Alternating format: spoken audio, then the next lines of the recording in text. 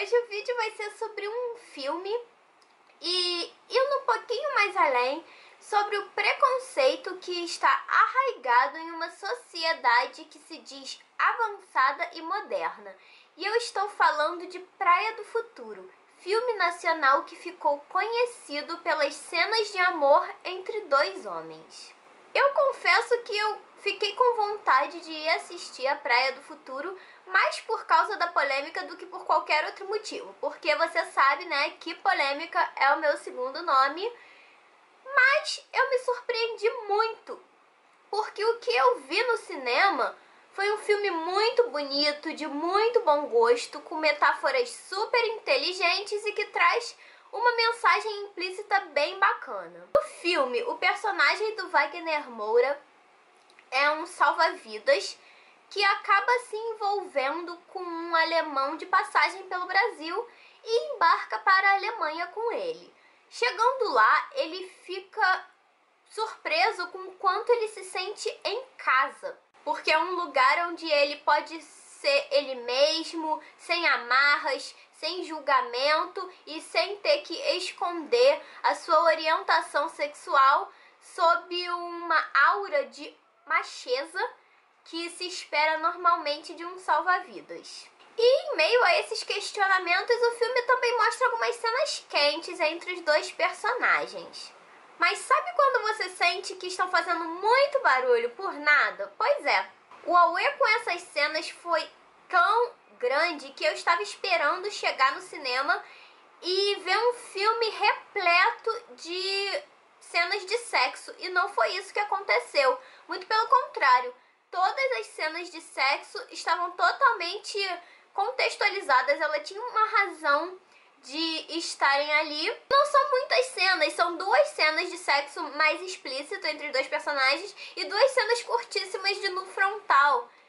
E o restante são apenas cenas de amor, de afeto, cenas comuns a qualquer casal e que se fossem protagonizadas por um casal heterossexual, eu garanto que passariam totalmente despercebidas. Porém, aparentemente não são todas as pessoas que se sentem assim em relação a cenas de amor entre duas pessoas do mesmo sexo, porque esse filme está sofrendo muita rejeição, inclusive com direito a pessoas abandonando a sala de cinema no meio do filme, porque se sentem ofendidas com as cenas de sexo gay e com a viadagem explícita conforme eu li em alguns comentários de mau gosto na internet. Isso é muito irônico porque é justamente disso que o filme trata. O filme fala da fuga, do preconceito e da intolerância. Que neguem o quanto quiserem negar, mas são ainda um fato da nossa sociedade. E é desse país que acha super normal ter preconceito, que acha super normal discriminar as pessoas com base em suas orientações sexuais, de que o personagem do Wagner Moura foge para nunca mais voltar. Esse sentimento de fuga, inclusive, aparece em diversas metáforas com o mar.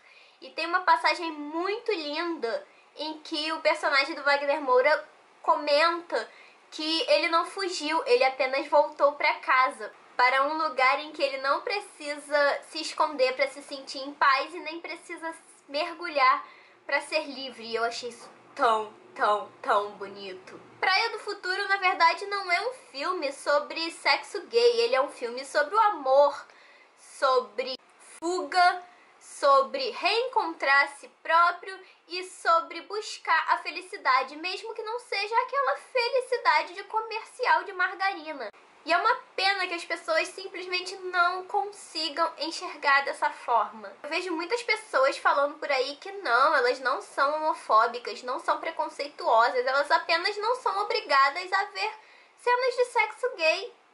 Ou ainda que elas respeitam, mas que não são obrigadas a aceitar. Como se isso dependesse da aceitação delas para ocorrer. E se você é uma dessas pessoas, você pensa assim, sinto te dizer, mas você é homofóbico, sim, e é preconceituoso, sim. Para mim, a liberdade é o bem maior de todo indivíduo. E eu fico extremamente triste de algumas pessoas se acharem acima do bem e do mal e se julgarem no direito de tolir a liberdade do outro, simplesmente porque ao invés de amar pessoas do sexo oposto, elas amam pessoas do mesmo sexo. E não, ninguém está dizendo que as pessoas são obrigadas a assistir a um filme com temática gay. Elas não são. O que elas não podem fazer de maneira nenhuma é desejar que tais filmes não existam e que os gays não tenham representação. E não se engane, quando as pessoas criticam Praia do Futuro ou qualquer outro filme com temática homossexual, por conta de cenas de sexo, na verdade o que elas estão querendo dizer é justamente isso. Que não toleram que se dê representação aos gays e que não toleram que eles sejam vistos com naturalidade, porque aos olhos dessas pessoas o que eles fazem não é natural. Quer dizer, tudo bem ser gay. Agora, andar de mãos dadas e se beijar em público não pode, porque aí já é vandalismo. É como o próprio diretor do filme declarou. Filmes com violência, com sangue, com cenas de morte e assassinato, tudo bem, ninguém vê problema. Agora, um filme que traz uma história de amor não pode, porque é tabu. Sério, isso tá muito errado e só nos prova que a gente ainda precisa evoluir muito. Enfim, seja para distrair, seja para refletir ou apenas para ver uma história bonita nas telas, eu recomendo muito que você assista A Praia do Futuro, porque o filme é fantástico e eu amei demais. Se você já assistiu, conta pra mim o que você achou. Eu espero muito que você tenha gostado desse vídeo. Se você gostou, não esquece de clicar em gostei para me ajudar na divulgação e se inscreva no canal para ficar por dentro de todas as novidades. Muito obrigada pela companhia e a gente se vê no próximo vídeo. Tchau, tchau!